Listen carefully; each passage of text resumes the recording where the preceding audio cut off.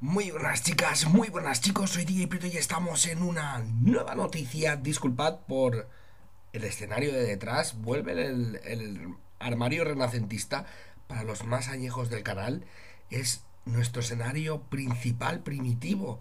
Y es que este es el escenario de casa de mis padres. Hemos venido a verles eh, en esta semana esta semana fallera, por lo tanto estamos en Xativa, así que quien nos quiera conocer o ver, pues ya sabe más o menos en qué zona nos rodeamos ahora esta semana.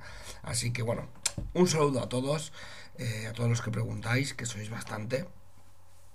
Y atentos porque se presentan las gafas de realidad virtual de AMD, los que faltaban, ya sabéis pues bueno, Valve eh, con HTC Vive, eh, las Oculus Rift, PlayStation y ahora AMD, incluso Nvidia, ¿no? Todos se han metido por ahí, ¿no? Por decirlo de alguna forma. Y ahora pues faltaba AMD, ¿no? Presentan las Sulon Q, ¿no? Eh, se lanzarán esta primavera. Estáis viendo en el vídeo unas nuevas gafas que aparte de funciones que ya sabéis que pueden realizar otros dispositivos, eh, con matices se podrá usar con algunas opciones de realidad aumentada. En la presentación además se comentó que se usará la función de detección espacial y no necesitará cables ni cualquier otro dispositivo para su funcionamiento. Son la primera y única solución de realidad virtual y realidad aumentada en un mismo dispositivo, lista para ser disfrutada, según, según dicen en el anuncio de la propia AMD.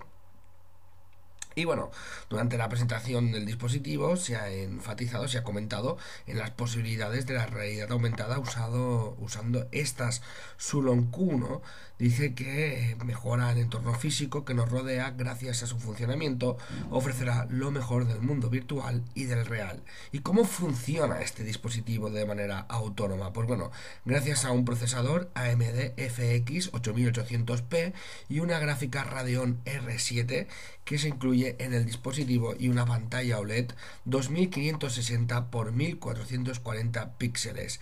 Esto, según comentan, ofrecerá una gran capacidad de procesado y todo ello mediante una experiencia sin cables que no se ate a ningún otro dispositivo, ya que todo se realizará con las propias gafas.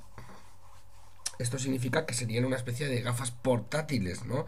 Ya que permitiría incluso salir a la calle con ellas puestas mientras disfrutamos de todas sus funciones. Un poco aparatoso, ¿no? Sería la historia, pero bueno, es lo que es.